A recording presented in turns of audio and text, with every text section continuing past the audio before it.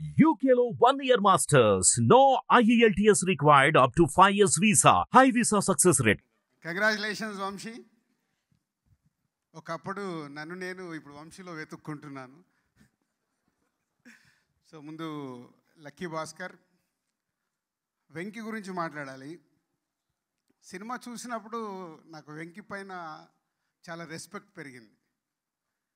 అంటే వెంకి నా నాతో బిగ్ జర్నీ తొలి ప్రేమ ఏదో లవ్ స్టోరీ లాగా చేసి సక్సెస్ కొట్టాడు. తర్వాత రెండు సినిమాలు లవ్ స్టోరీగా ట్రై చేసి సార్ సినిమాతో రూట్ మార్చుకొని ఒక మంచి సక్సెస్ కొట్టి స్టార్.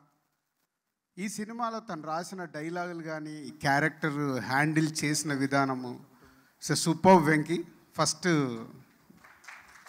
credit డైరెక్టర్గా నువ్వు హ్యాండిల్ చేసిన విధానికి హ్యాట్స్ ఆఫ్. దాని తర్వాత దుల్కర్ గారి గురించి చెప్పేది మహానటిలో చూపించేశాడు. డైరెక్టర్స్ ఇక్కడే ఉన్నారు. సీతారామంలో చూపించేశారు.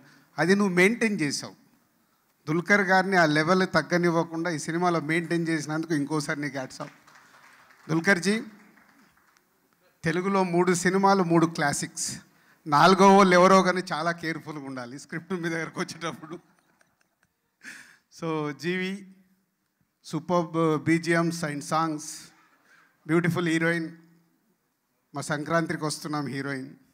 సో ఇలా అందరు టీం అందరూ కష్టపడి ఒక క్లాసిక్ సినిమా ఇచ్చారు. ఇది అంటే హిట్ అనాలా సూపర్ హిట్ అనాలా కమర్షియల్గా రెవెన్యూస్ అన్ని తర్వాత మాట్లాడతాయి కానీ one classic film Lucky Bhaskar.